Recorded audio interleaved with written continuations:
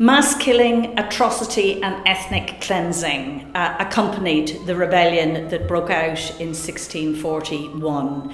It's one of the darkest moments in Irish history, and thousands of Irish civilians, both Catholic and Protestant lost their lives in a series of very brutal and grisly episodes, including uh, the massacre at Portadown. It's very important to remember, though, the depositions record these massacres from the Protestant perspective.